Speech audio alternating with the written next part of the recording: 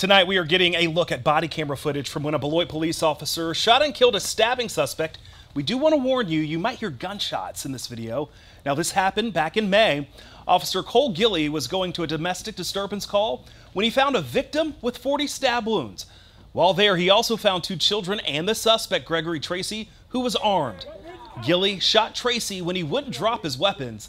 The video you're seeing right now was made public after the Rock County Sheriff's or the Rock County District Attorney, excuse me, said that Gilly was justified in using force.